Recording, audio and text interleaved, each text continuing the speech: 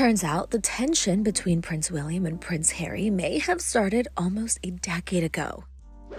The ABC News special Prince Harry's Mission, Life, Family, and Invictus Games gives a deep dive into the royal's relationship with his family and celebrates the success of his Invictus Games. But British journalist Robert Jobson says in the special that the Prince of Wales may have been jealous of the success of the sports competition.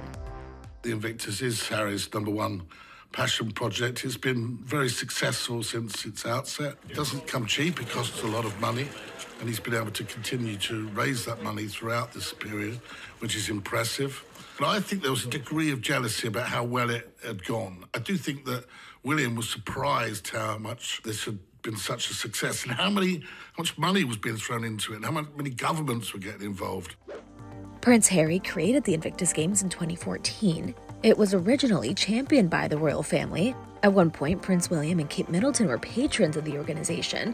King Charles attended some events, and Queen Elizabeth even appeared in a comedy sketch with Barack and Michelle Obama. Oh, message? Oh, from Michelle. How very mm. amusing. So we like to watch it together? Yes. Let's have a look. Hey, Prince Harry. Remember when you told us to bring it at the Invictus Games? Careful what you wish for. Boom. Oh, really?